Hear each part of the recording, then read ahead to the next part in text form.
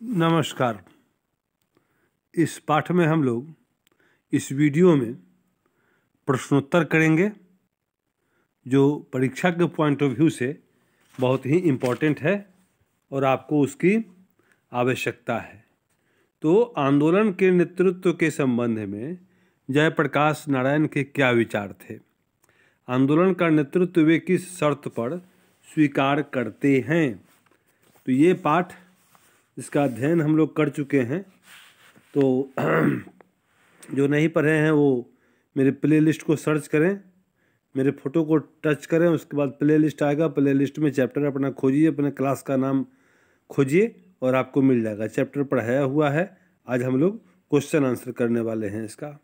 तो पहला प्रश्न यही है कि आंदोलन के नेतृत्व में नेतृत्व के संबंध में जयप्रकाश नारायण का कि क्या विचार थे? आंदोलन का नेतृत्व वे किस शर्त पर स्वीकार करते हैं? ये संपूर्ण क्रांति का आंदोलन जो उन्होंने छेड़ दिया था तो उसके विषय में ये प्रश्न। तो आंदोलन के नेतृत्व में जयप्रकाश नारायण का कहना है कि वे सलाह सबकी लेंगे, सबकी बात सुनेंगे, छात्रों की बात भी सुनेंगे, जितना भी समय होगा उनके पास, वो सबसे बहस करेंगे, समझेंगे और अधिक से अधिक बात करेंगे, बात पर ज़ोर देंगे। और बात यह भी है कि स्वीकार करेंगे सबकी बात। जन संघर्ष समितियों की, को भी फैसला जो उनका होगा उसको मानना पड़ेगा। जन संघर्ष समितियाँ जो बनेंगी, उनको भी उनका फैसला मानना पड़ेगा और तब जा कर के वो इस फैसले को मानना होगा और इसके बाद क्या होगा कि जयप्रकाश नारायण नेतृत्व को स्वीकार करेंगे। उनका कहना है कि क्रांति सफल तभी होगी जब नेतृत्व की बात को पूरे का पूरा कोई फॉलो करे, उसकी बात को आचरण में लागू करे। इसलिए बहस मुहावसा सबसे करेंगे, राय सबसे लेंगे, सबकी बात सुनेंगे और अंत में जब निर्णय हो जाएगा तो उस निर्णय को सबों को मानना होगा, तब जा कर के वे एक निर्णय निकाल पाएँगे, उस आंदोलन का नतीजा निकल पाएगा, नहीं तो आंदोलन बिखर जाएगा।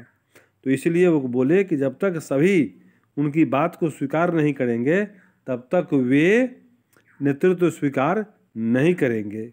ठीक है? दूसरा प्रश्न है जय प्रकाश नारायण के छात्र जीवन और अमेरिका प्रवास का परिचय दें। इस अवधि की कौन सी बातें आपको प्रभावित करती हैं? तो जयप्रकाश नारायण का कहना है कि 1921 ईस्वी की जनवरी महीने में पटना कॉलेज से वे आईएससी के छात्र थे। उसी समय वे गांधी जी के असहयोग आंदोलन से प्रभावित हुए और उसमें सहयोग देने को तैयार हुए। असहयोग के करीब डेढ़ वर्ष हीरो जीवन बीता था। और असहयोग आंदोलन के हीरो के रूप में वे जीवन बिताए थे डेढ़ वर्ष। उसके बाद उन्होंने क्या किया कि वे फूलदेव सहाय वर्मा के पास भेज दिया गया पढ़ने के लिए और प्रयोगशाला में कुछ करने और सीखने के लिए। उन्होंने हिंदू विश्वविद्यालय में दाखिला इसलिए लिया, विश्वविद्यालय को सरकारी मदद मिलती थी। बिहार विद्यापीठ से परीक्षा पास की बचपन में स्वामी सत्यदेव के भाषण से प्रभावित होकर अमेरिका गए। ऐसे में कोई धनी घर का ये आदमी, ऐसे इनका कहना है कि ये कोई धनी घर के बच्चे नहीं थे। इनके पिताजी सरकारी कर्मचारी थे। सिंचाई विभाग में काम करते थे वे।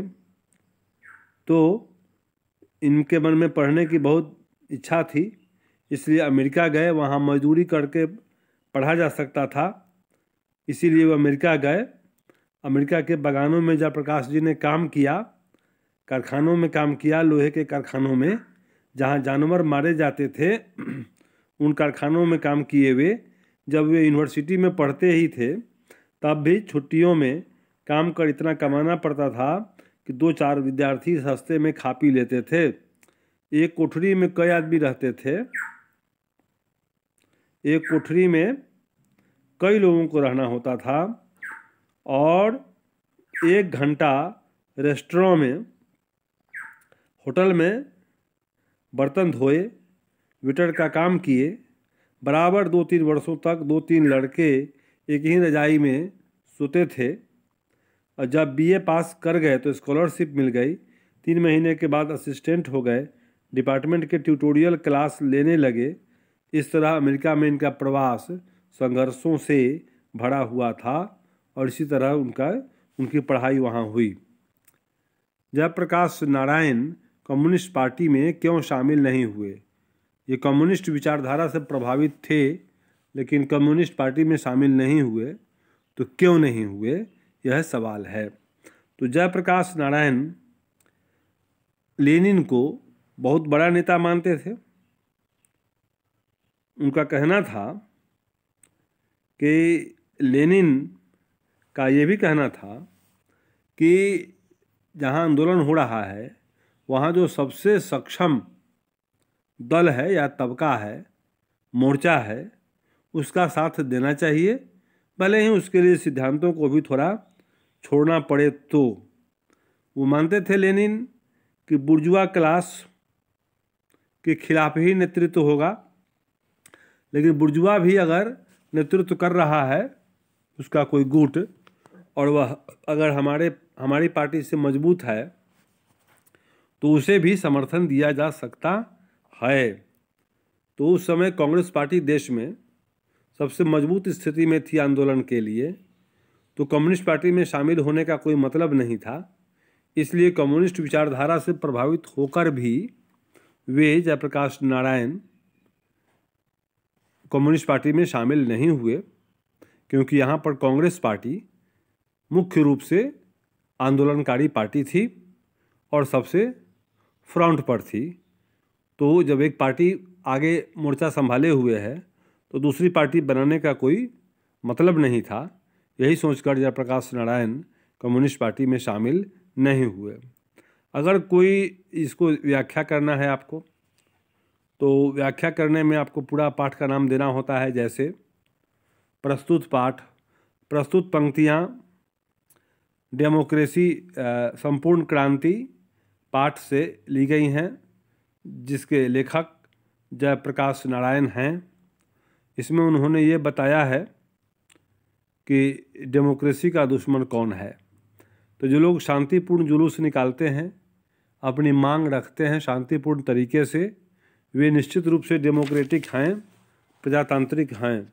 लेकिन जो लोग ऐसे आंदोलनों को दबाने के लिए लाठी चलाते हैं, गोलियाँ चलाते हैं, वे लोग डेमोक्रेटिक नहीं हैं।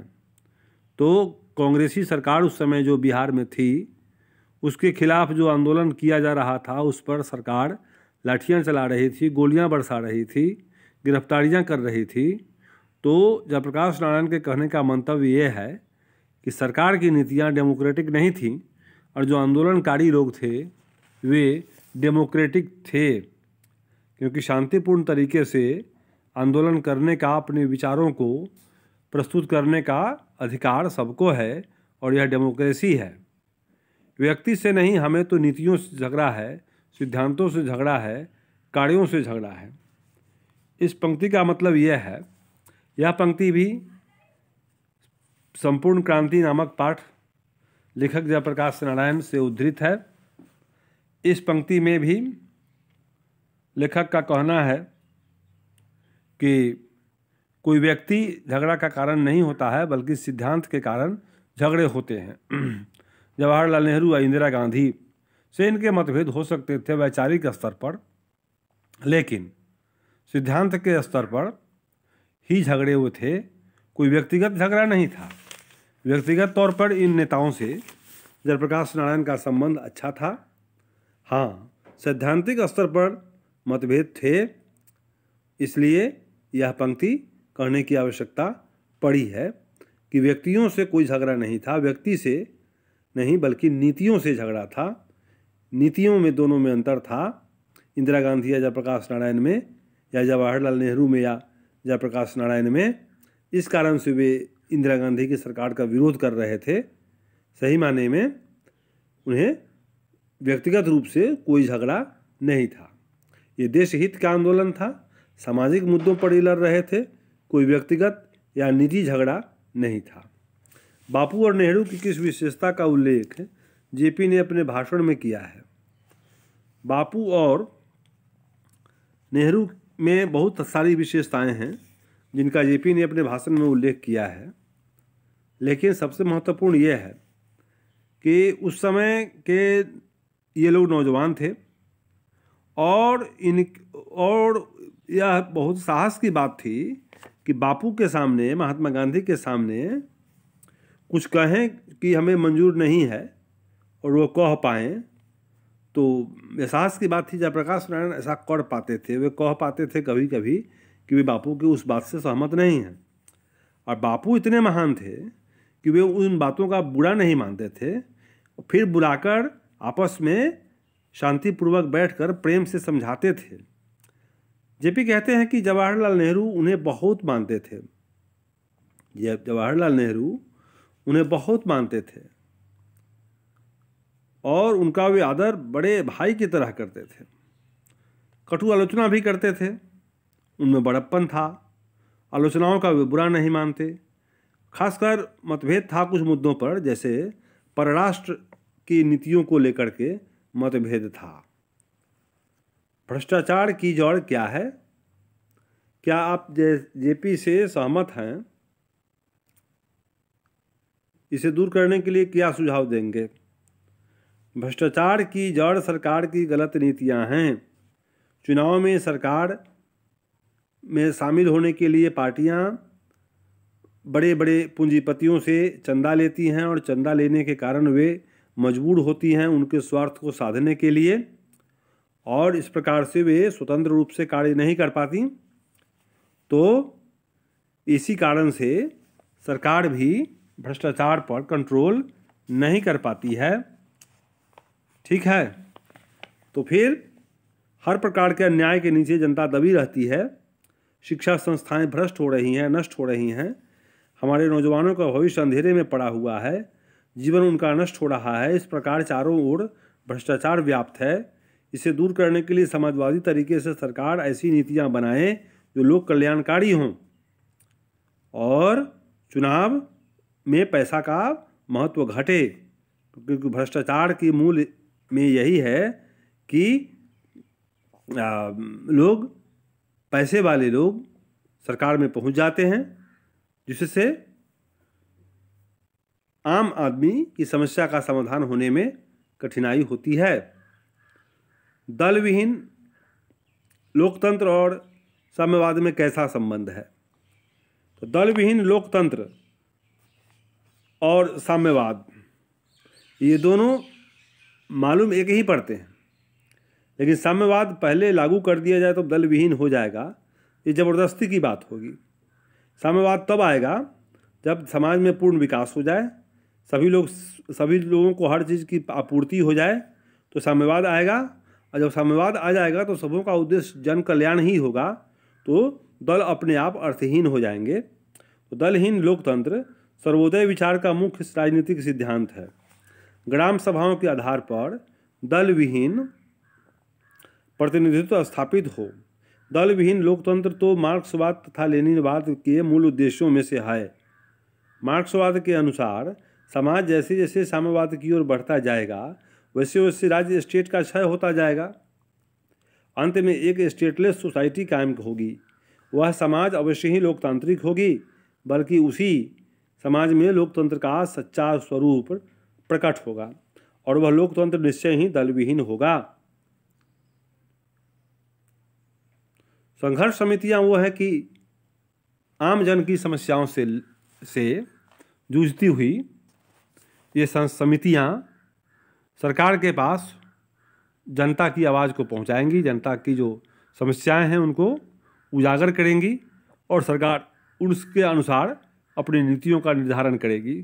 संघर्ष समितियाँ सिर्फ़ आंदोलन ही नहीं करेंगी, बल्कि जन सरोकार के मुद्दों पर जनता को एक राय करके उन समस्याओं को सरकार तक पहुंचाएँगी। इसलिए संघर्ष समितियों का रोल बहुत बड़ा होगा, अगर सही मायने में प्रजातंत्र को लागू करना है तो। ठीक है? तो इस प्रकार से ये कुछ महत्वपूर्ण प्रश्नों को हम लोगों ने देखा और उम्मीद करता हूँ कि आपको ये समझ में आया होगा। तो फिर ये संपूर्ण क्रांति है। पाठ का प्रश्नोत्तर प्रमुख प्रश्नोत्तर इन्हीं प्रश्नों में से आपको एग्जामिनेशंस में आएँगे। इसी तरह से हम सभी पाठ का प्रश्नोत्तर करने वाले हैं। आप एक एक करके देखते रहिए। और लगातार जब तक आपकी परीक्षा नहीं हो जाती है, तब तक इसी तरह से प्रश्नोत्तर होता रहेगा। छूटे हुए प्रश्नों को खोज खोज कर आपके लिए लाते रहेंगे। तो thank you for viewing have